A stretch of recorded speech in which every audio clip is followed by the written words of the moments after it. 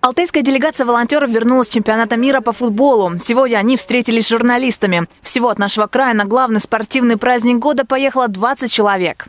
Пока весь мир болел игрой, 15 тысяч добровольцев со всех стран сутками дежурили на стадионах, оказывали медицинскую помощь, встречались с гостями и общались со СМИ. Алтайские волонтеры работали в четырех городах – в Москве, Санкт-Петербурге, Сочи и Екатеринбурге.